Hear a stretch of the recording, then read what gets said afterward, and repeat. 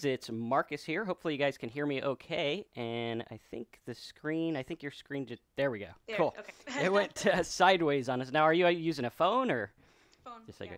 a, okay, cool. Cool. So, um, I think we are live. Yes, looks like we're live. So, if you guys can hear me, let me know by typing something in the box. And today we have a special guest, Caitlin. I will let you pronounce your last name because I've been trying to think about it, and I have like five ways I could possibly say it. So, How you say it? Feed. Feed. Feed. Okay, cool. Awesome. All right. So today what we're going to do is we're going to talk about sobriety. We're going to talk about identity crisis and we're going to talk about crazy unwanted thoughts that sometimes creep up on us. So, let me make sure my sound is off on this replay here. That way we don't get any feedback. All right, Andrea, good to see you there. All right, so we're going to go ahead and dive right in. Uh, what I really want to talk about is when I first got sober, I had a huge identity crisis issue. Um, a lot of you guys know that I run businesses online and everything like that. And when I was drinking, that was part of my identity. I looked at it and I was like, okay, well, I drink and I'm the internet guy and I'm successful and I have to put up this facade and I have to be this person that I thought I was. And it was very difficult because I, I tried to live up to it, but as I was drinking, my state of mind and body deteriorated and it was kind of like out the window, right? I was like, okay, well, I'm supposed to be this person, but I'm not. And then I also had a lot of you guys know uh, about my religious background. I was very religious back then. And uh, I was trying to keep that up where I was like, okay, well, how can I claim to believe in Bible and God and everything, but I'm a drunk, right? How, how does that work? And it was very difficult uh, to rationalize those things. And I brought Caitlin on today because she has a story that's that's a lot similar. And I think her, you're from Story Speak Enterprises, right? Yeah. All right, cool. Awesome, and and she does. She talks about stories, the stories we tell in our life, the stories we tell to ourselves, the tor- stories that we tell to others. Um, and I know, as an alcoholic and as a person who just lives in the world, um, I tell stories all the time. I'm like, I was this guy, I was abused, I was uh, treated good, I was treated bad, and, and we wear these stories like a backpack, and we carry them through life as you know a badge of honor or determining who we are. Um, and as you guys have found out from my channel, I believe that we never really know who we are. Uh, we just kind of go through and, and we are the essence of whatever we are, right? Um, it's kind of interesting. So, um, Caitlin, if you want to start out and kind of tell your story, like what it was like for you, um, what kind of stuff happened, uh, what you know you went through. I know um, there were some issues there with with uh, domestic stuff, and you can go into that or not. Uh, Yeah. it's like the first time I've ever talked to her, so I, I don't want to step on any toes. Um, Our first conversation, we'll just dive into all the, the deep, Okay. deep stuff. Cool, that's cool. okay, so yeah, thank you, Marcus. So yeah, Marcus was right. We do have a lot in common. And I, um, uh, he reached out to me because he had seen one of my videos where I was telling a story about what I had most recently experienced. Um, but for the sake of this video, I'll give a little bit background with my experience with alcohol as well. Um, I wouldn't call myself an alcoholic by any means or an addict, but I did grow around a lot of loved ones who I had seen, you know, experience a lot of loss because of drugs. Okay. And of course, like most Americans, we're conditioned to believe that alcohol, like, it's fine on the weekends. Like, it's so normal to get totally trashed and, uh, you know, numb yourself out with emotions. So I had a, a bout in my life where I was using alcohol to cope. Um, and instead of learning how to take control of my mind, I would um, numb myself out and escape with alcohol, right? And I, I got into many car accidents, like one that was very bad, and you know I'm blessed to not have honestly like a DUI or anything. So thankfully that's passed. But one thing I learned after that bout in my life was the power of my mind, and I was diagnosed with PTSD. Um, I think in 2014, and um, I had recently uh, that that came from uh, growing up in a home that was not emotionally nurturing or supportive, right? So I could not express ourself myself, and I think a lot of people who go to alcohol, um, Marcus, you could probably relate to this. You know, we live in our heads because we can't really. It's not a safe place in our homes to express ourselves. So when that happens, you know, we have this raging mind and we have all these things we want to say, but there's no safety net to say it. And it can kind of, you can become your own worst enemy. Um, so fast forward to the video Marcus saw. Um, most recently, I had um, been with a con artist, like legit con artist, master manipulator, who was a public figure, and uh, um, he really being being with that person really show, shined a light on what uh, what I had in myself that was attracting this. You know, the beliefs I had to uh, accept things from this per- person, to accept um, being abused, because uh, let's basically I ended up giving every dollar to this person. Um, I didn't feel safe in body or in the home because and and he was telling me I was crazy. He was trying to get me to go on pills, um, telling me I was bipolar. Um, and you know, I I could not trust myself. And this is the root of everything: is not trusting ourselves is the root, I believe, of every addiction because it's a it's a lack of connection with yourself. So um, at the time, I had um, I had to flee from the situation. So I went to I flee to a domestic violence shelter, um, kind of like this like um, witness protection program. Like you, no one knows where it is. It's very very hush hush, and um, that's where I really understood the power of my mind and that oh my God I could trust myself and my intuition was correct, and I learned to align uh, my intuition and my thoughts. And I think Marcus and I are going to talk more about that. Um, but that's pretty much the synopsis. Um, and and yeah. yeah, yeah, and and that's uh, very similar. Like I see a lot of things. Like I was diagnosed with PTSD. Now I don't mm. I don't like to say that I have PTSD because it wasn't like a it was right. a therapist diagnosis. It wasn't like a doctor thing. And then I look at like yeah. people who went to war, and I'm like, okay, I mean, I know I'm not like that. I I, I, want to respect theirs, you know, and be like, okay, yeah, I didn't go to war, so. Um, but it does affect the way you are, and, and like you said about trusting yourself. I remember um, when I was going to a therapist in uh, like 2013, 2014. Um, I have notebooks. I write notebooks about everything. I guess it's not like a diary; it's like little ideas. Mm-hmm. Um, and I remember I took my notebook to therapy that time, and I was shaking like a leaf because I was so anxious, and the, the alcohol was wearing off, and um, and I had written on my book because I couldn't even say it out loud to the therapist. I was like, I don't trust myself. Wow. Um, and, and to me, I was like, this is the epiphany. This is it. This is going to get me sober. This, is, if I could, you know. Um, and it's funny because when I got sober, I don't know how much of my story you know, but um, I was doing the internet marketing thing. I was very successful at it. Um, we had planned to move to Florida. We had like moving vans lined up. We had our house sold um, which I sold my house completely drunk. I don't even remember it, other than the guy who bought our house was like seven feet tall, and I'm like five feet tall, so it's like, whoa, this dude's huge. Um, and I was like, wow, our house looks small with with that guy in it. With me, five feet, it looks big. Um, and so there we were, and I was like, okay, I don't trust myself, and I, I had uh, gotten really bad. I was I was going like two weeks off of drinking, like a month on, and I'd I'd cycle this, and I, I got really bad. Uh, we ended up not selling our house. I ended up in a uh, hospital because of the drinking, and uh, there was suicide watch I was on. Um, and then I ended up in a mental hospital, which was not fun, very scary. Luckily, my, my talking abilities got me out in four hours instead of like the 72 hours they're required to hold you. Um, because I was scared. I mean, there was people there that were like talking to the grass. There was a lady there that was like, she looked like she was just going to jump up and poke your eye out um, and she was just clutching her pillow, you know. And and, and it's funny because I, I had that moment in the mental hospital where I was like, Marcus, dude, you don't belong here. Mm. And then there was a voice in my head that said, Nope, this is exactly where you belong. Because uh, I went crazy. I I believed all the shit that society put on me. I believed all the stuff that I thought in my own head, and it was so real. And I was like, okay, well, what do I do with this? I, I literally am crazy because I bought the game. Like, I, like some people buy the game and they're like, okay, well, I got to have a job, I got to be successful, yeah. and if I don't get it, whatever. I bought it where it was like, I got to have the, the job, I got to be successful, and if I don't have it, I'm worse than scum. Like, I, I should be mm. dead. Um, and I, I believed that with everything that was in me, and I, and I literally just lost it, and I didn't understand what it meant to trust myself. I was like, what does that even mean? And it's funny because in sobriety, I didn't really like sit down and be like, okay, let's get some books on on trusting yourself and let's understand it.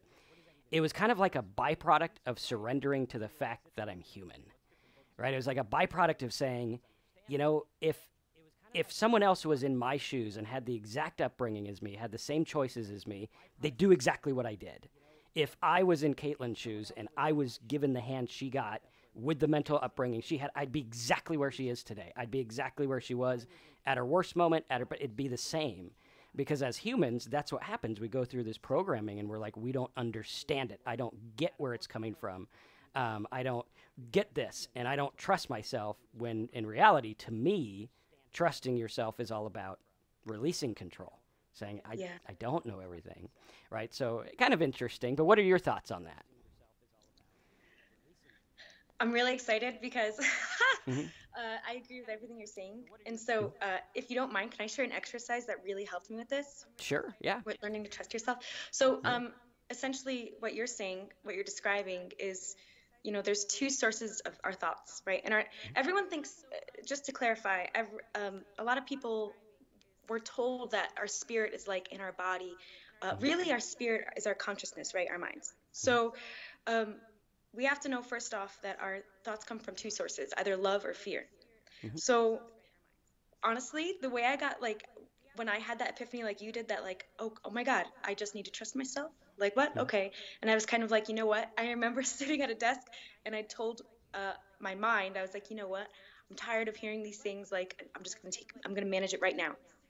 And I got a piece of paper out and I drew a column down the middle. I'm sorry, a line to make two columns. Mm-hmm. And on the left it says uh, honest thoughts, right? Mm-hmm. And then the right side says truth thoughts. Because what you said, you said you had believed all the thoughts that were in your head, right? Mm-hmm. But then you realize, like, oh, I don't have to believe everything in my head. Like, every our thoughts are just a byproduct of our environment, and everything that I think is not necessarily mine. So then we have to learn how to create a filter that filters love and fear based thoughts. So the honest thoughts in the left column are the fear based thoughts because just mm-hmm. because it exists doesn't mean it is. Mm-hmm. You see what I mean? Just Yeah, because absolutely. it is present doesn't mean it's the truth. So then mm-hmm. the truthful thoughts are love.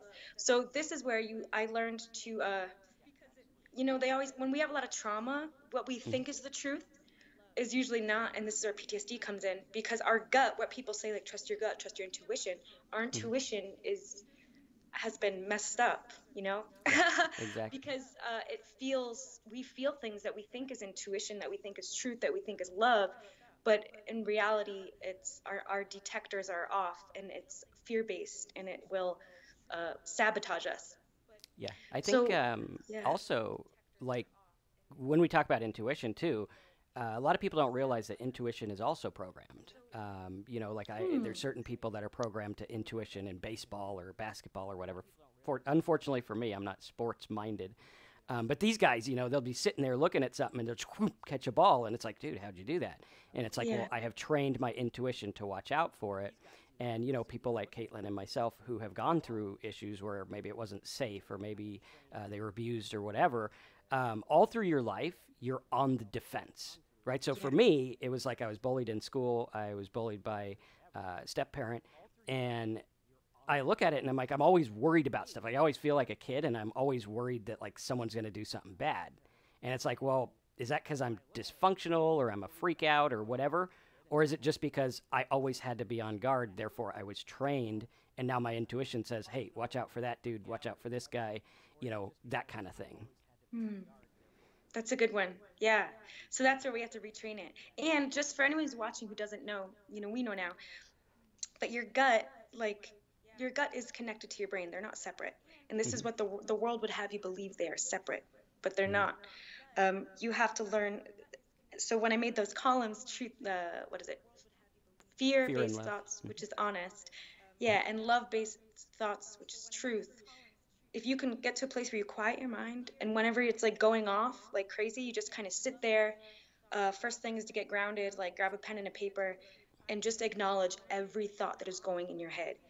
And then after you write them all down you start putting them in the columns. Okay is this honest? Is it is it fear-based or is this the truth? Is this love? And like by the end of it on the paper that i had you know my truth was that you know what i am i am loved because i am made from love i am desired because i uh, because i am love it all goes Yeah. back to being love you Mhm. know it's crazy Exactly. and so Yeah. once you embody that it begins healing your mind naturally There was Well- a there's a good book I had. I don't know if it's up here, but I'll try to draw what he had. and he had this thing, and it comes from Josh Jankowski, I think it was, or Josh, Josh Janowski, something like that. If you Google it, you'll probably find it. Uh, the book my grandpa gave to me, um, it was called "Love Is Letting Go of Fear." Really good book. It's like from the '70s. And what he does is he says, you know, there's there's a thing going on here where you have you, right, and you have these fear-based thoughts, and you're like trying to push these fear-based thoughts out, and it's like a big spring, right? And the spring's like this, and it's recoiling, and it's connected to whatever it's connected to. And you can either go through and try to push these thoughts back and be like, okay, I'm going to push these back because I hate these thoughts. And it's like a fight, right? You're trying to fight the spring and you're trying to push it back. And even when you do get it back, there's that resistance, and you're like, okay, well, I'm trying to fight it. Now, on the other hand, he draws this thing and he's like, well, you could live life where you forget about these thoughts because they're going to happen. You're going to have these thoughts, they're not going to go away all the time, but you can pay no mind to them. Right? You can look at them and be like, of course I'm going to have these thoughts. I'm not going to worry. And so he has this picture of this spring. And for those of you that don't like my art, that's a spring. We'll just pretend it's a spring. And he's got this guy, and he's just kind of like chilling out, relaxing. And he's like, hey, I can sit here and I can just lean up against these thoughts because they're going to be there in the back of my mind anyway. I don't need to fight them. I can live in a place of love and say, hey, this doesn't really matter. This isn't a big deal. Um, you know, I can focus on the things that do matter. Uh, and it's really good because the fear and love based thing is a very, very um, important thing that, uh, you know, makes a lot of sense. Yeah, that's such a good point. I want to point out too, Marcus, to add to that. Um, someone had told me once because I, when we get bombarded with, with thoughts that are not from us, Mhm. like you said, we can ignore them, or we can also detect and say, "Oh, that's not mine." Okay, like you know, I don't own that. We we have to stop identifying with those thoughts, like you said, right? And just kind of letting them pass, you know, and be like, "Oh, okay, that's not mine." Um,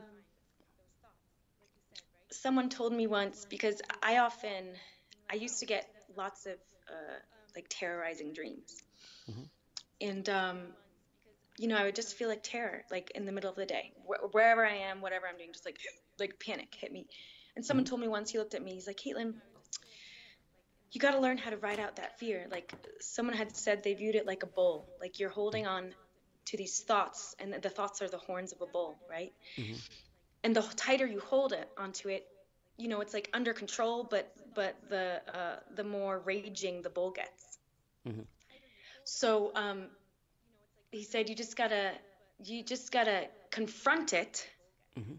and at the same time ride it out like don't let it overtake you so um he actually suggested doing something that the Native Americans do, which is like they, they tap their feet, they tap their feet on the ground. It's like, hmm, like you confront it and you, you grunt and you like acknowledge the fear Mhm. and let it go. So the thing is with that versus just letting it pass, it's going to come back again. But if you acknowledge it and let it go, then you have asserted yourself over that because I also believe there is spiritual warfare there. So if you uh, continually ignore everything that's passing through, you may not really take authority over your mind that you That's uh, yeah, that's a good point because oftentimes I'll tell people. I think we were going through it last week where we were talking about you know, um, not just letting the thoughts pass. Letting the thoughts pass is a good way to look at it because personally I believe that none of our thoughts are really our own anyway. Um, Yeah. And the way that I back that up is like, well, I didn't invent the the English language or whatever your native tongue is.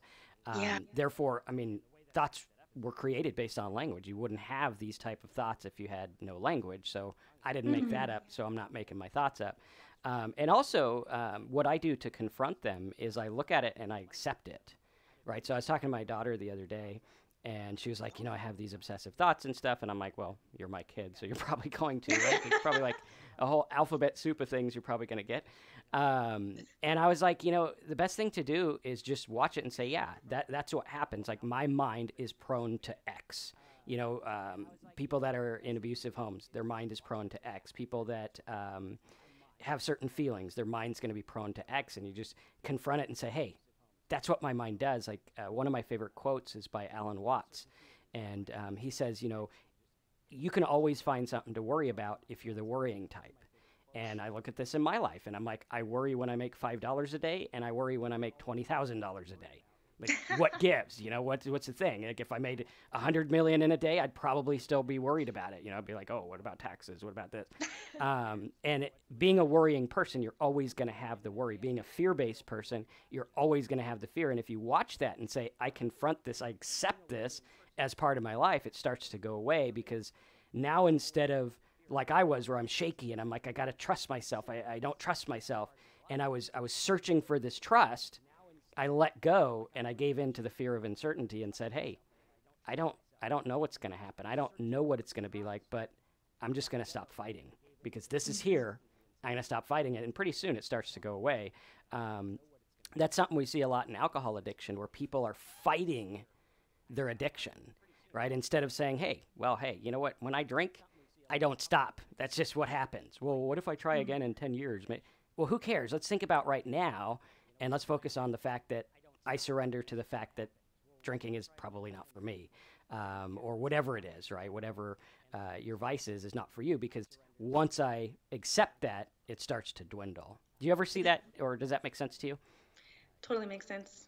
Yeah, because everything you're describing is just about confronting our shadow, right? And not mm-hmm. judging ourselves mm-hmm. and loving ourselves. And it's so hard for humans to love themselves and to let yourself feel loved um, mm-hmm. when you don't believe you deserve it. Um, mm-hmm. and that's part of the reprogramming. So yeah. um, I just wanted to add too to that, Marcus, mm-hmm. if I may. When we're when we're like surrendering to those things, it's so important that you continue you you um, retell those stories right away. Because mm-hmm. here's another thing that we are conditioned to believe is that it would take years and years and years and years to mm-hmm. undo layers and stuff. And what i've learned recently is i believe that's another kind of programming you know where they can make money off us. Mm-hmm. because we have the power in our minds and our words to create and destroy like that. Like it's our nature. We are creators and destroyers. We are nature you know? So mm-hmm. our power is like instantaneous you know? Like we we are the power of God, right? So mm-hmm. if we uh, once you detect those love and fear and what you have to surrender to and everything, it's important where you retell the story.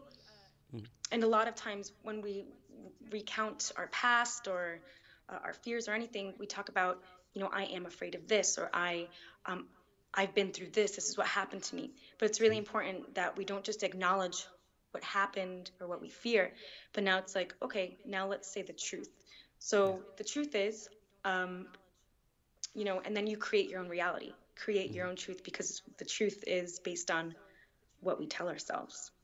Does exactly. that make sense? Absolutely. Yeah, it, it, does, definitely. And I like what you said about um, a lot of people think change takes forever. Um, and a lot of people think, oh, you know, you have to do all this stuff before yeah. you get sober. You have to do all this stuff, or you have to go to 20 years of therapy. Yeah, um, God. And things like that. And, and therapy's good. I mean, definitely go if it helps you. Um, but for me, I look at it and I'm like, I, I looked at, there's three guys or two guys back in the 70s. His book's right here. Really tripped out book. He was definitely from the 70s, you guys can see.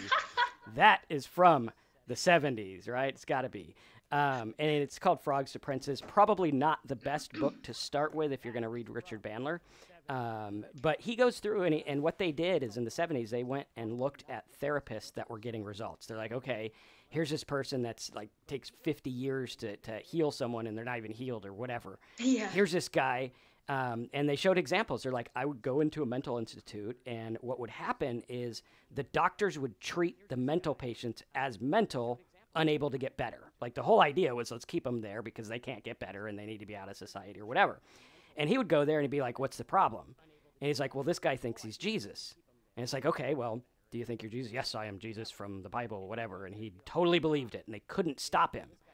And then he's like, Okay, well, I'll be right back. And he comes back in and he's like, comes in with like a big, big plank of wood and he starts measuring the guy. And he's like, Okay, well, if you're Jesus, you got to be crucified. That's what Jesus did. And pretty soon the dude snapped out of it, right? Wow. And that's really what I look at everything in life is kind of a form of hysteria, right? You get in yeah. this bottle of hysteria where you're like, I believe this. I am consumed by alcohol. I'm consumed by thoughts. I'm consumed by depression. Um, and we put those labels. I am depressed.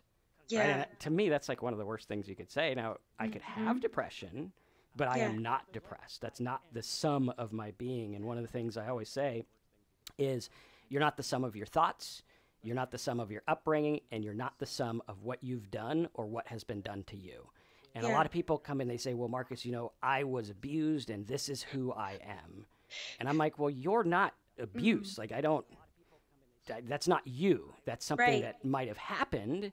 And one of the things I look at also is, is when you have that. So, like, you had that experience with the, the con guy um, who messed up with you, you know, it just messed around and whatever. Um, not whatever, I don't mean to discount it, but Oh, no, did all that stuff I get it. Yeah. and um, if you were not there, it would have been someone else. And this is freeing because I look at it, and as a kid, I always said, "Well, why me? Why me? Why does this happen to me? Why do I get this person in my life?" And it's like, well, hey, if it was another person, it would have been the same exact thing. It's not like the universe singled you out and said, "This is what you're going to get." It's just that there's shit in the universe, and somehow you got a little bit of it to come your way. Um, and all through life, we look at life as things that happen to us rather than this is what's happening. I'm in it. Can I offer uh, some Sure. advice here? So, perspective. Okay, ready? Mhm. Uh, I believe everything happens for us. I also believe that our souls choose the life we want because we we we all go through a journey, right? And I believe in generational lineage, whatever. You know, abuse starts from somewhere. It's it's up to one person to break that line of abuse. It's up to that one person to become healed. How can anyone be healed if they don't face their shit? Oh, I swear. I'm sorry. I did too, I don't worry about it. I swear a lot. Okay. um, but anyway, so I just want to give you guys an example of how I reframed my stories. Um, first of all, nothing happens to me. Everything happens for me. Everything happens for me. And I have also, uh, so with my most recent circumstance, you know, this happened to me. I overcame, and, and just like um, Marcus was talking about wearing that badge of honor, that's what I was wearing. That's how a lot of us wear our new stories. Like, oh, I overcame this, I survived this. And then I was like, no, that's, I could feel it. I was like, that is not love based. That is still me surviving. Like, I want to thrive. So to thrive, we have to go in the perspective of like, we have to see the other side of it. We have to go and see it from God's perspective, and we have to really understand the universe. And like Marcus said, like there's darkness, there's light, there's balance. It's called harmony, and everything does happen for us. But it's up to you to understand the truth about, uh, you know, what did this add to your life? Because another thing that you need to realize, and this is where it comes to knowing your identity. Uh, the truth is, we are all created in abundance. We are all love. We are fullness. Uh, that's who we are. So if that's the truth, things can only be added to us. We can't have things taken away. So here, stick with me with this. So when I, you know, I, I I've been raped. I've been, you know, whatever atrocities. Okay. And when I got to the point and said, "Wow, when these things happened, I was added with so much grace and love." Like these things are what was actually added to me. Mm-hmm. Nothing was taken away from me. And and the only thing that determines that is our mindset. Mm-hmm. So if you walk if we walk around continually saying this happened to me this happened to me i'm a victim of this you are mm-hmm. literally undergoing you're not even being yourself because you're still relaying a program of what happened to you.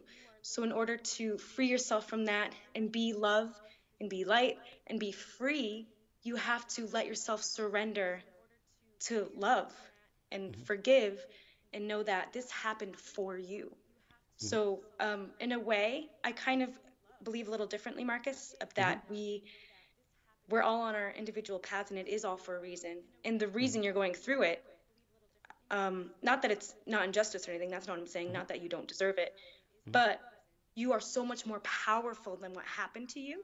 And it's your job to tap into that power because that is what's going to be used to create your, the heaven of your life. Mm-hmm. Like if I didn't have those things happen to me, I would never know the heaven that I have now in my mm-hmm. mind. I would never have known myself the way I know now. And like I am so grateful for the things that happened to me. So if you guys could start anywhere, just start practicing and saying grateful even if you don't feel it because eventually the mm-hmm. thoughts will become feelings. And we are alchemists, so we can create any feeling we want. Okay, Yeah. I'm done.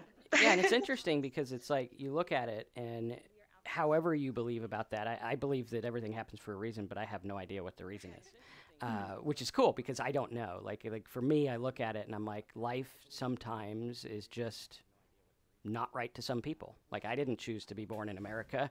Uh, poor kid didn't choose to be born in India, um, you know, and, and oppression and all this. And, and what I look at is we are love. We are more than everything thinks we are. Um, Yeah. And we look at it and we're like, okay, well, the whole earth is abundant. Like starvation is not a food issue, it's a moral issue. Um, you know, money stuff. Money was a man made invention. People just get so hung up on it. And it's like, well, just rewrite the rules. it's pretty easy. You wrote them in the first place. Um, but we look at it and we're like, okay, well, when we have the love versus ego, and ego has like hate, has uh, victim. Um, there were some other ones you said as well. Love has the uh, trust. I trust myself. I trust others. I trust the universe to do what the plan is, uh, whatever it is. It might look bad to me in the time, like, oh, I lost my job. That's terrible. Now I can turn that around and say, I lost my job. I'm going to go for something better. That's a good way to reframe it. Um, you could turn it around and be like, I lost my job. I'm going to go on unemployment. Therefore, I suck. Everything sucks. Whatever. Um, however you frame that in your mind, but you can change them, which is really cool.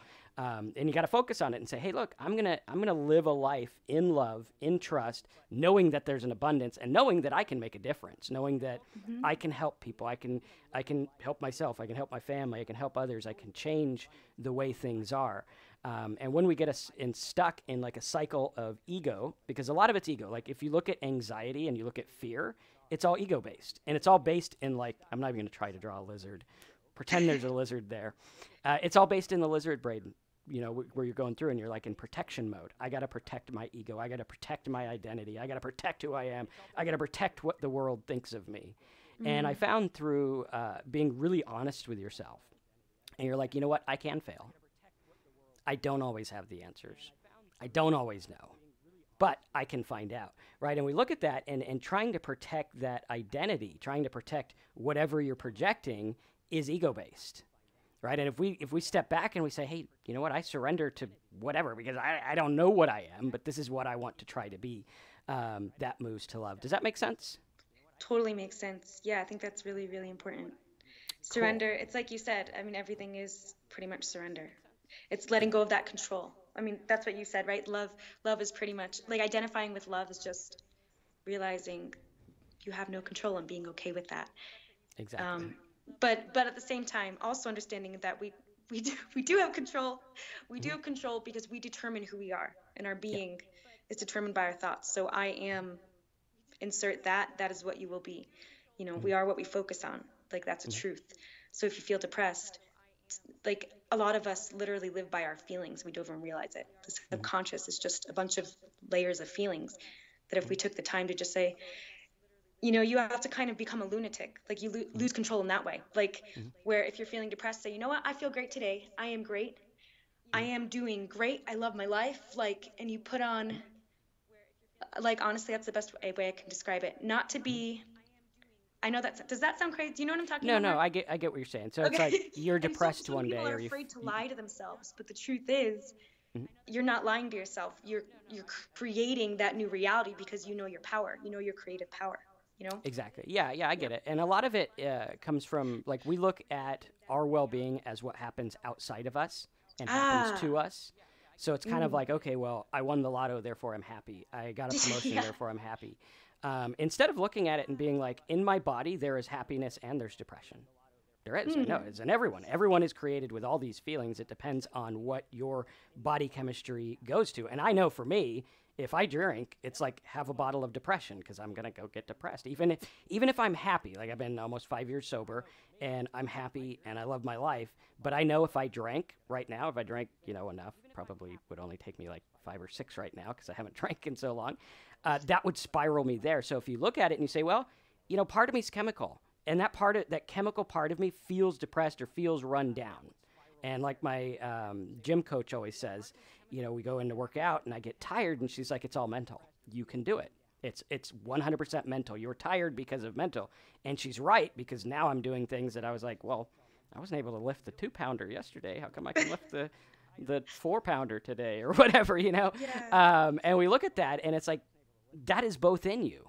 There is both happiness, sadness, love, hate, all of these things are there. It is what you choose to focus on. And whatever you choose to focus on is the reality. If you have someone who's depressed, he wins the lotto, he thinks he's happy, he is happy. Right? It's just, it's evoking that. And in our minds and in our body, we have like these little points that go off. And it's funny because um, they did a study, uh, Bandler and Grinder, and they were talking about how things affect people. And if you're someone who is abused, and every time after you were abused, the abuser came up, put his hand on your shoulder, and said, I'm sorry.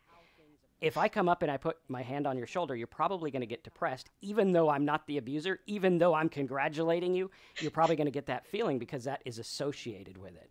And what Yeah. happens is we have all these associations that are firing, and it's like, boom, how do we live? It fires, then you get emotion. Go ahead. Yeah. Oh, I was gonna say. Uh, well, you made a really good point. Um, one of my coaches told me, uh, you know, we're programmed in the world, in society, so we can serve the whole program system, right? Mm-hmm. Do do be have. That's what we're taught. So if mm-hmm. we do X, then we'll be happy. Like you said, if we win, if we mm-hmm. play the lottery, then we win it, then we'll be happy, and then we can have the life we want.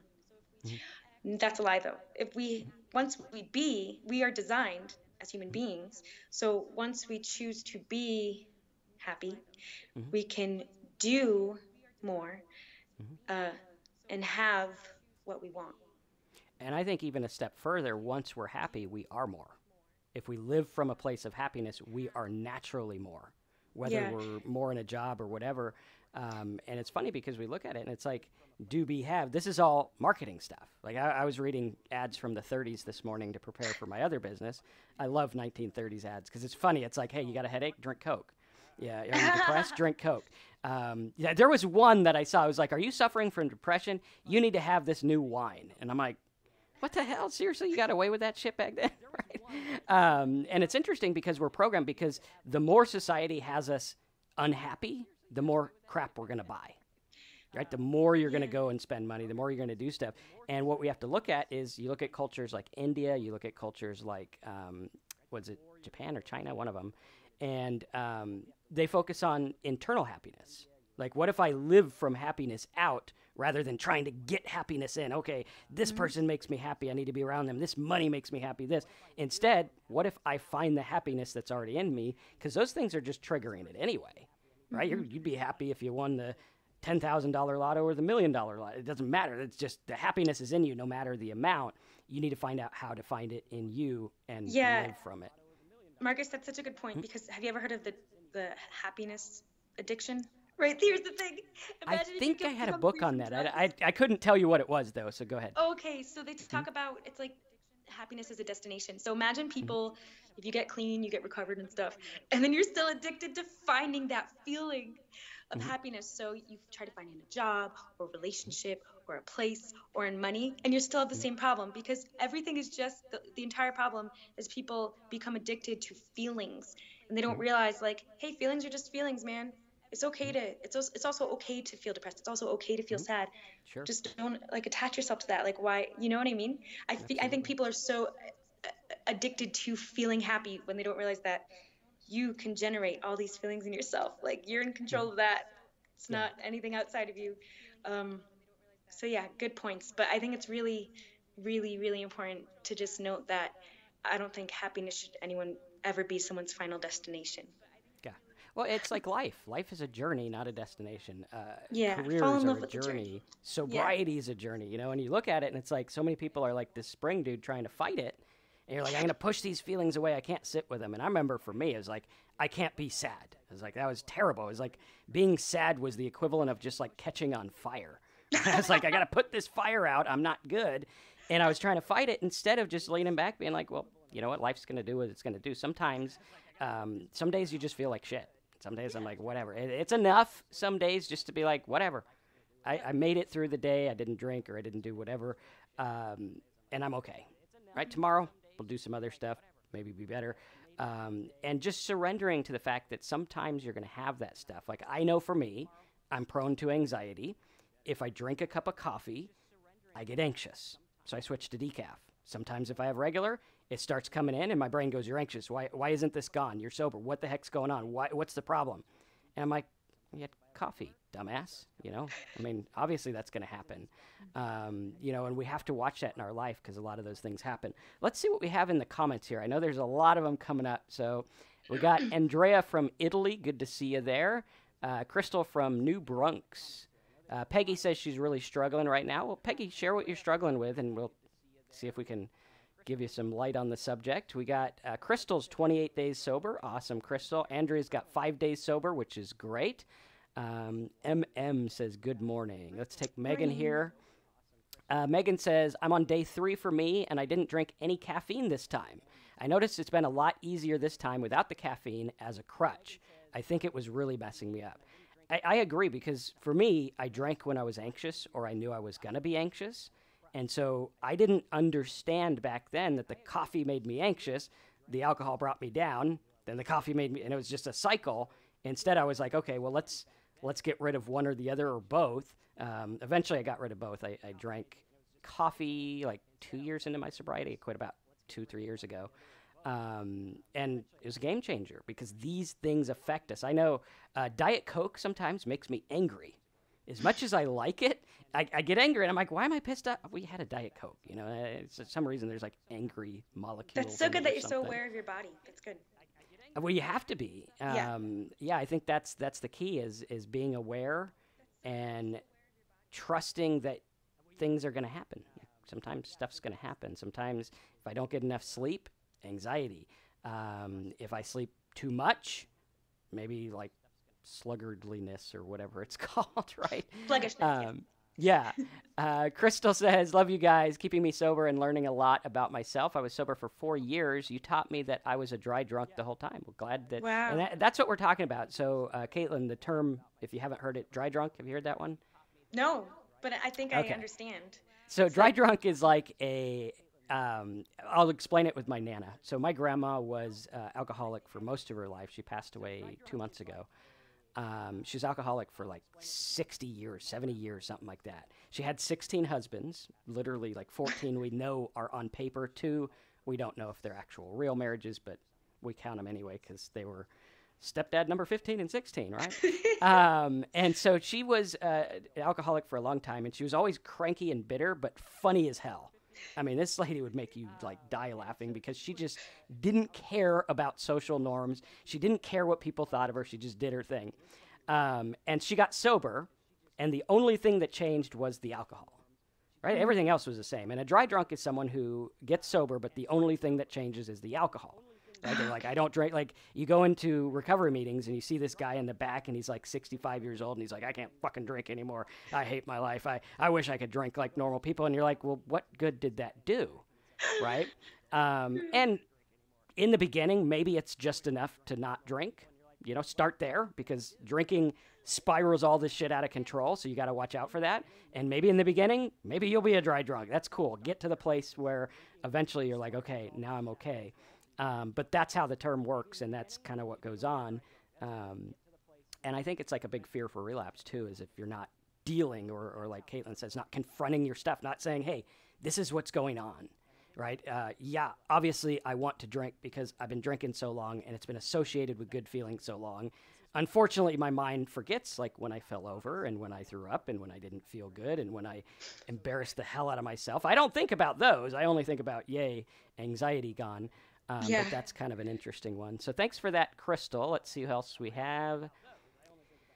Stephanie says, honest fear versus truth love, spot on. Good. Chelsea, language and how it is the origin of thought is a concept very well explained in the book, The Fifth Agreement. Hey, good. I think, is it the five agreements or fifth agreement?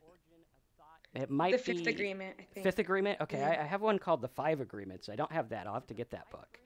Um, so that's good. Yeah, the fifth agreement, if you guys want to pick that up, probably a good one as well. Uh, dead weight. Hey, Marcus, I haven't had a drink since around Memorial Day, like five Ooh. months. Lost track. Your video and another good channel, Alcohol Mastery, were two that helped me most in psychologically stuff. Psychological. That's awesome. That, that is cool. Um, let's see. THC Gamer got a doctor appointment. Cool. Good, good, good. Um, I hope it's cool. I hope everything's all right. um, who is our guest? Our guest is Caitlin. Um, you can see her info in the description there as well. Let's see. Uh, Everyday Sober says she's a special guest with some great insight. And for those that don't know, Everyday Sober is our usual uh, co host, Terry. Um, let's see who else we got. Stephanie, breathing through them works too. Yes, breath work is something I struggle with. I'm the guy in the gym that's like passing out because I hold my breath when I lift my two pound weights. Um, you know, so that's something I got to work out. I'm trying to work on it. I'm learning about like yoga and stuff like that. Uh, and I am getting better. But uh, that's a big thing. Like for me, I know you're talking about that exercise of just kind of clearing your mind and thinking. For me, a big one is feet on the ground, not like cross, yep. not anything, just feet on the ground, planted. Feel yourself in the ground. Maybe even if you're outside and it's a nice day, take your socks and shoes off and feel the grass. Right, yeah. become part of nature. Be like, hey, this is where I'm at. I'm here. I'm grounded um, and everything is okay right now because that's that's the key is to realize no matter what happens in your life no matter what's going on if there's not a war right outside your door you're okay right now you probably even if there is a war outside your door even if there is it's a little scary okay. but but we'll you're talk okay. about that for another one how to deal with the war outside um, but it's not as bad as a war in your mind that's for sure uh, although i would not be an advocate of any wars. Um, Jason says, That's so excellent. You have five years. Thanks for that, Jason. Uh, Crystal says, I had so many negative thoughts when I was sober for four years, and of course I relapsed. And that's a fear, right? Because what happens is you can literally reprogram your mind, you can change your mind. And the way you're going to do it isn't by thinking about it. You can't think your way out of a thinking problem. You need to get new thoughts. And that's why I'm a big advocate ever since I got sober. Every night, without fail, I listen to an audio. I'll either listen to Ram Dass, I'll listen to Alan Watts, I'll listen to Anthony de Mello's pretty good, um, or something uplifting or positive, or an audiobook or something like that, because it gives me new thoughts. It gives me new perspectives. Like for those of you who are listening to this and you're like, wow, I didn't think about it that way. You're getting new thoughts right now. Now it's your job to take those thoughts and say, hey, I'm going to do this. I'm going to do something with it. I'm going to remember next time I have anxiety, well, shit, you had a cup of coffee let it pass, you know? And I'm going to focus on that because it's very, very important. All right, let's see. We got Samson. Hey, I relapsed so many times. Uh, I don't feel bad. It's how you get yourself back up and get on track. I'm still trying to figure out you're not alone. Exactly, because we can look at it and, you know, for relapse, whether it's relapse to thoughts, relapse to alcohol, um, sometimes it, it, it could happen. Now, I don't plan on it. I don't bank on it. I'm not like every alcoholic needs to relapse at least 14. I don't believe that, right? Some don't need to. Some, maybe that's part of it. Um, but getting back up and saying, what can I learn from the last time? What can I learn from that that changed me? Where did it start? Because you can go back and you can look at where the thought started. You could say, boom, that's the one. Okay, that's what I watch out for. Um, and focus on changing your thoughts. Okay, let's take uh, Jason says, I really like the fact that you brought up having the attitude of gratitude, a real life changer. And I think that was Caitlin brought that one up, uh, which is good. Okay, caffeine makes my caffeine makes my anxiety explode. Yeah, right there with you. yeah. Um, four days sober, cleansing my apartment top to bottom. Good, good, good. Um, I'm not a cleaner. I hate cleaning, but awesome. Um, that is good. We need to have clean areas, clean rooms and stuff. Although here, my dog always gets a big log from the outside, and she's like a wood chipper. She's like literally having a wood chipper in here, and I have all these wood chips swept up over here that I need to get out of here. So that's my cleaning for the day. Um, let's see here. Samson says, uh, "I'm only on day eight. Day eight's a big. That's a big change. That's like eight days of no drinking. That's a big step." Um, and I'm feeling more aware, more active, and trying to be a better father and husband. But I'm realizing now I need to do this for myself. Exactly. Because it's like in an airplane, right? You go in an airplane and they say um, the masks are going to fall if there's a cabin pressure change. Now, when the mask falls, put the mom, if you're a mom, put your mask on first. And my wife's always like, I'm not going to let it, no way, man, we're putting the kids on. The reason they say that is because they know little Timmy's going to be running up and down the aisles like a maniac. Johnny's going to be swinging from one of the little tubes and you're going to be fighting so much by the time you get their oxygen mask on, you're going to be out of oxygen and you're going to be on the floor. So they say that because you need to take care of yourself first, not because oh I'm a selfish mom. Boom, my alcohol or my um, I don't think they pump alcohol through those. My um, oxygen's going to come first. That's not what it's about. It's about you need to take care of yourself so that you can be a better father, be a better husband, be a better wife, child, whatever, uh, which is pretty cool. Okay, um, Ivy says, I guess I'm a dry drunk. Well, um, learn, right? Learn how to change your thoughts, learn how to enjoy sobriety, learn how to enjoy every day. Um, Stephanie, read this once, found it reassuring. You're not the first, you're not the last, you're the only. All right, oh, cool. Wow, I like that. Uh, Caitlin, you want to take a couple of the last questions there? Um, I think okay. we started. Me, We Can were you at. read them out loud? Can you read them? Oh, sure, sure. Um, I'm now like two months and two weeks, found harmony and peace, no more feeling shit and guilt of what I've done. Good. Mm-hmm. Keep going. Yeah, and, and remember, guilt is a completely useless emotion. yeah. Like, Yeah. Guilt is. yourself. What's that? Oh, I just said they have to forgive themselves.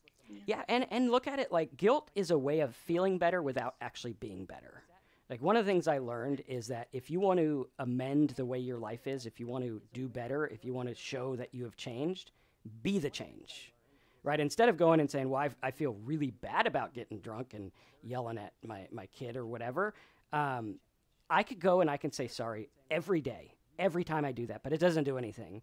What does better is putting the bottle down and saying, I'm, I'm not going to yell at my kid anymore. We're, we're going to read. We're going to, you know, pile up stuffed animals and, and make a fort or whatever. And we're going to be different. And guilt is only a way of feeling better. Man, I feel so shitty about drinking last time. Uh, I feel so bad about it. Pretty soon you're drinking again. Exactly. But if I say I feel bad about drinking, I'm going to actively do something to stop. Um, So- and mhm. Oh, sorry. no, go ahead.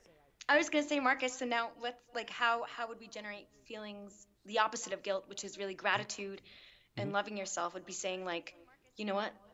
Thank you that I'm stopping. Thank you that I'm I am me. Like, don't Mm-hmm. even focus on your drinking or focus Mm-hmm. on who you are and like start thinking yourself and loving yourself and praising yourself. I would I would say that. Mm-hmm. Yeah, Do that like first thing in the morning and last thing at night. Just you Mm-hmm. know, thank you God for making me. Thank you God that I am. Thank you God. You know, Mm-hmm. you'll still have feelings of guilt, but then you're not serving those feelings of guilt, and soon Exactly. those feelings will be gone. Yeah, yeah, exactly. And and that's the thing is like I remember we learned early on. Hey, you want self esteem? Do esteemable acts.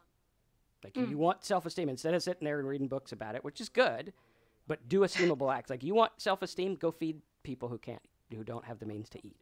You want self esteem, take care of people who can't take care of themselves. You want self esteem, go help someone. Um, do something that is esteemable, and you'll get that. Um, and I always look at life as how can I make what I want in life inevitable? right? So how can I make like I want to be sober, Marcus. I want to have these things. One of my goals is I want to reach a lot of people with this with this uh, sober show. Is how do I make that inevitable? Well, what I do is I come on, and if there's one guy on, I talk to one guy. There's two guys on, we talk to two guys, right? And now we got you know 50 or 100 or whatever on, we talk to those, and we look at it and we're like, okay, that's what I'm going to do. I'm going to do little steps, whatever it is, right? Because again, it's the whole idea uh, Caitlin was talking about of the destination. You're looking at this destination of um, I'm going to be sober, my thoughts are going to be clear, and I'm going to have a bunch of money in the bank. It's like, okay, that's that's good to have. Now make it inevitable. What's the first step to making it inevitable? Inevitable is um, not drinking. So, okay, what can I do today to not drink? What can I do today to be grateful of my life without having to drink? Because drinking basically puts you in ego mode. Like that's what it does. That's why people are asses when they're drunk because they're in ego mode. They're like, "Hey, man, I'm better than you," and it's like, well. Five seconds ago, you were like a totally cool guy, and now you're better than everyone, ready to beat everyone up, right? Or maybe you wallow in self pity. Guess what? Self pity is ego. A lot of people don't think this. They think self pity is, oh, well, you know, I don't have any ego. I'm s-" no, that's ego. You are so focused on yourself that you can't focus on other things, and we got to look at that stuff. And I just want to add one more thing, um, Mm-hmm. because Marcus had said, uh, "Do this to be grateful," but I would switch that: be grateful 1st Mm-hmm. and do for yourself, so you can do for others. Because this is what keeps us trapped. Uh, church teaches us this. Society teaches this. Go out into your community, serve, serve, serve, and before you know it, we abandon ourselves and uh, don't tend to ourselves. But it says to create a new self. There's a there's a famous yogi Um, he came, I believe he taught in the 90s and 2000s in California, uh, Kundalini. Uh, Marcus, if you're in, starting to get more grounded, I totally recommend, and anyone who's watching this, Kundalini, KundaliniYoga.org. Okay. It will teach you how to, just within like five minutes a day, that starts you learning meditation and breathing, okay, and being present. And one of the things he teaches is to create your new self, to truly find yourself, you must spend a lot of time alone. So I would just advise anyone like you have to be comfortable being alone and doing for yourself, and most importantly, being, being your by yourself, so you can do for yourself and then you can do for others. Absolutely. Yeah, I agree. Definitely. Like if you if you start from gratitude, it changes everything. Yeah. because you're just like whatever i'm happy like i remember um, when i first got sober i uh, i always felt like i lost my house even though i sold it and got a bunch of money for it uh, i always felt like i lost it right and I, people were like but you got like money and i'm like yeah but but i lost it because i was drunk um, and you know it's funny because i actually found because we, we were going to move to florida and everything happened so fast we had to rent for a while because i was like okay well we can't buy a house in 10 minutes. So um, my wife had rented a place when I was in uh, rehab. And I remember getting there, and I actually found the will to be grateful for that. It was about a third of the size the place we were used to. It wasn't where we wanted to be. I felt like a failure, but I was still like, I'm, I'm grateful. I have a place. I'm grateful that I'm here. I'm grateful that the sun's out. I'm grateful that uh, life is okay. I'm grateful that I'm breathing. I'm grateful that my kids are okay. Um, and you know, if you lose someone, like I'm grateful that I had them in my life rather than I'm sorry for the loss. I'm grateful that they were here. Like, look at that. I got 50 years with this person or 20 years or five years or whatever. Um, and that's kind of a good thing to look at is, hey, I can come from a place of gratitude. Let's see. We got a lot of other comments coming in here. Where did we leave off? Um, we got Samson said, Marcus, I noticed that the last time I was trying to get sober, I had an issue in my life that made me upset and immediately went for a beer, which turned to a bottle a day. Uh, is it finding an excuse? Well, what I would do is I would learn to live with uncomfortable feelings. Sometimes you might have them. Like, I remember I was terrified of anxiety before and it would just cripple me. And now I'm like, whatever, it's there. Had too much coffee or this. Um, or maybe you're you're upset. Okay, today I'm I got a little upset. That's cool. I am not upset. I have this upset thing that's that's hanging around me, and that's cool. But I don't have to identify with it. I don't have to own it. I don't have to go in it, and I don't have to run from it. Right. Mm-hmm. That's one of the things. Is is so many people in life are spending their entire life running from things they don't want instead of just embracing what's already there. Like mm. you can be happy, you can accept yourself, you can be grateful, you can sit and be upset and be okay. You can be like, I am Marcus, I'm happy, but I'm a little upset about this thing. Right? And then again, look at the ego because a lot of it, if it's dealing with personal stuff, like sometimes people are gonna rip you off, sometimes people are gonna mess around, some people people sometimes people aren't gonna honor their their promises or whatever. And you just look at it and be like, well, that's just that's their bag. That's cool. It has nothing to do with me. Um, I'm gonna do what I'm gonna do, and they're gonna do what they're gonna do, and this is how we we live and move in the world. Welcome to the human condition, right? Yeah. Um, I haven't a dr- had a drink since December 18th. Congrats on 45 days or 50 days or whatever that would be. Um, Denise, still drinking, but really want to stop. It's a vicious cycle. I'm afraid to stop because I don't want to face the anxiety, but drinking causes more anxiety. yeah. Um, now, have you dealt with lots of anxiety issues?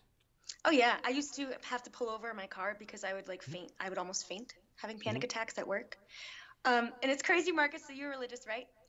I used to be, yeah. Thought, I thought my yeah. I well, I, I was in the church a lot too. Uh-huh. I thought my panic attacks and my emotions were the Holy Spirit, not the Holy Spirit. No. yeah, it's the coffee or the the the uh, racing thoughts or whatever.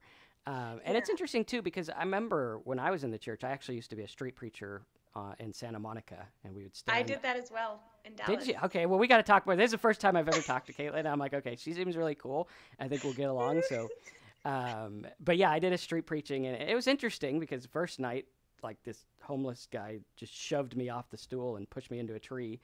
Uh, I was like, okay, that's interesting. Um, but I remember the church would always tell me like, take every thought captive. And it was like this war with thoughts and everything. And I'm like, you know, you'd sit there in church and you're like, you think of something stupid, like I could just punch that guy over there. He looks like an idiot anyway. And you're like, why am I thinking that? That's terrible. And it's like, well, it's chemical impulses in the brain from Yeah. stimulus coming in, and you're gonna think these things. Right? Like if you had all the stimulus coming into your brain and you put it in your computer, your computer would like freak out. So why are we any different? Um, and we have to look at that and say, hey, these things are going to happen. You're going to have these impulses, these memories, these recognitions, this fear based stuff. Uh, and what we have to do is just be like, hey, it's there. That's cool. I'm still at church or wherever I'm at. It doesn't mean I'm bad if I thought that. Doesn't mean I'm good if I think this. It just means this is where we're at. Yeah, Right. that's where we're at. And I, I always tell um, my clients, I say, you know, you can anticipate these. You, you know your brain well enough now. Great. Mm-hmm. Now, not, don't judge yourself. Let's just create a response plan. You know, don't try to escape them. But when those feelings come, what are you gonna do about it? Exactly. And the only answer you can really do is really sit there, train yourself to be calm, master yourself, master calmness. And then what because actually what interrupts thoughts is breath. You cannot breathe and think at the same time. So whenever those thoughts come, just breathe. That's all you can do. Just breathe. Yep. And don't go to the bar and breathe. Breathe outside of Yeah. the bar.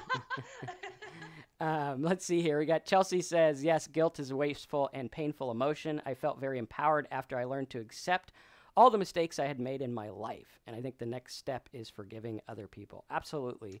Um, I, I find I found that in it's weird because recovery was more than recovery for me because you look at people who recovery it's just drinking but recovery really was like a, a complete i woke up one day and i'm like holy shit everything i ever thought about life is wrong. And i was like I, I was it was like i was empty and i'm like uh okay uh you know i used to be like crazy republican business guy and i'm like and then i get sober and i'm like well let's see what old bernie sanders has to say i mean i guess every and then i was like hey i like this guy you know and then i was like before I'd be like, we can't listen to that guy. He's a whack job. And I'm like, well, let's see. Maybe whack job's got something, you know? Um, and I kind of like flipped everything. And when I looked at that, it was like, now I can have gratitude for people because I can't judge anyone. I mean, my mind will judge, sure, because I'm trained to be like, oh, that person's too short, short, too tall, whatever. Um, and, we're trained that way. But now I'm looking at it and I'm like, hey, I can't be better than anyone because if I was in your position, I'd do the same thing. Like, how could I judge you? If I was in um, India, like trying to find food on the ground, I'd feel the same way he felt. I'd do the same things they did, right? I and, and one of the things that's interesting is sometimes we don't know what would happen. Like we look at things like the Stanford prison experiment, where they took a bunch of random people and they're like, "We're going to make a movie and we're going to pretend you guys are the prisoners and we're going to pretend you're the guards." And after a couple of days of this, it started getting really bad because people believed their role. They were like, "Yeah, I'm the guard." They were beating the hell out of these people. It's like, dude, this is an experiment. What are you doing? And it shows that certain circumstances can do that to us. But we also look at um, there's a guy, Viktor Frankl, who was a Holocaust survivor, and he talks about atrocities that happen. And this guy made it through one of the worst ones. And they're like, well, how did you make it through? And he's like, well, I didn't believe I was trapped. I didn't believe the things that they told me. I didn't believe that this was because of me, and I didn't own it. Right now, that I, I probably couldn't do that. Like if I was in that camp, I probably would have like died before they even put me in it. Probably would have died on the train because I'm like a freak out. But for him, you look at it and it's like that mindset changed. And there's so many other people that have mindsets and program mindsets. But if he can use that mindset for something as, as atrocious as what happened, and we can take it to our little things, sometimes perspective is what we need. Sometimes we look at it as like, yeah, I lost my job, but hey, that guy has nothing. I, I still got shoes. I could still get unemployment. I still got a roof over my head. Um, oh, my debt's not paid off. Well, who cares, right? Like, you can pay it off later. You can pay it off. It doesn't even matter, right? You're making it matter in your mind. And the funny thing about life is when you stop making these things matter, they start taking care of themselves. Now, that's not to say be reckless and go, you know, my bill's going to take care of itself because it won't. But life will work itself out if that makes sense. Okay, let's see here. Samson, I'm only 31, and yes, it's hard to stop. And yes, you will face so many issues when you stop, but after a few days, things will slowly change. I've faced seizures when I stopped, but I'm trying and it's worth it. Yeah, that, that's one thing to watch for too. If you guys are coming off of alcohol and you're you're like, I'm gonna quit cold turkey, um, go to the doctor. Just like even if you think you're fine, your body's had so much alcohol, you need to go to the doctor anyway and be like, hey, dude, this is how much I've been drinking. What should I do? And he might give you something that'll help because seizures are a big worry, um, delirium's a big worry, uh, insanity is a big worry, um, and you know that those you don't want to mess around with that stuff. Okay, Crystal says, I didn't realize self pity was part of my ego. That's a huge shift in my thinking uh, when I was drinking. Absolutely. Um, a lot, a lot of people don't realize self pity is self pride. You're thinking, I should have better. I should have more. Um, and whenever you think you should have more or better, make a goal to make a life to do it, but also look at the person with less and be grateful for what you have. Um, it's like that old tale that's like uh, the guy complained about his shoes until they met the guy with no feet. And it's like, well, yeah, you know, uh, you know. I think I just would also like to say that being grateful, it's just like you don't have to have any. It's not about having anything. Like get to that mindset, you guys. It's just about like just be be happy because you choose to be happy because you can generate that feeling in yourself. It doesn't matter what's going on within or outside you. Be grateful because you are. Mm-hmm. Exactly. You know, it's a very deep thing, but if you can practice that, then you'll begin feeling it from your soul up into your brain. Mm-hmm.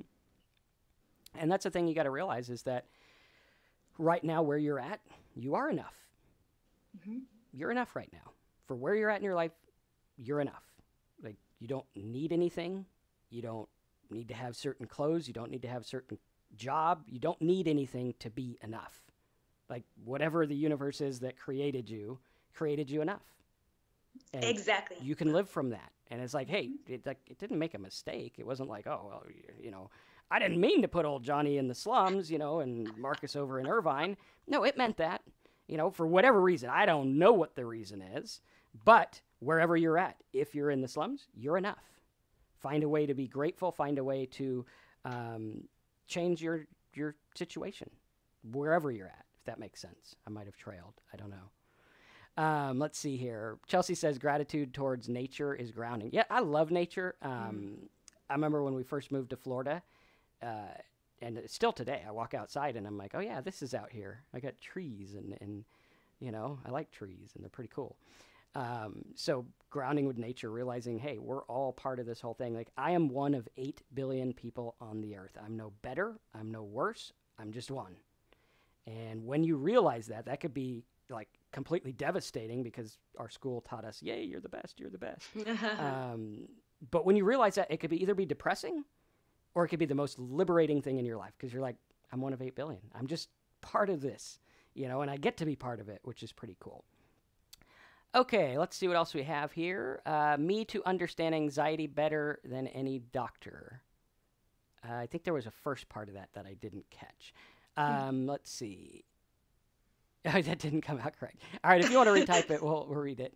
He spilled coffee on his keyboard and it's going crazy. See, coffee even makes your keyboard anxious. So, yeah, gotta watch out for that stuff. I know some people love their coffee. and I'm Dad cool with joke. that.